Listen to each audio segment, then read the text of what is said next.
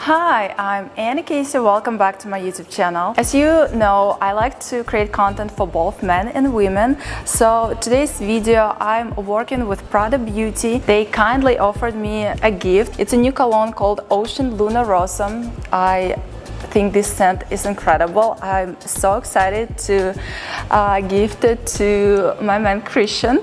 I think he'll absolutely love it. You guys should check it out too. Let me tell you more about it.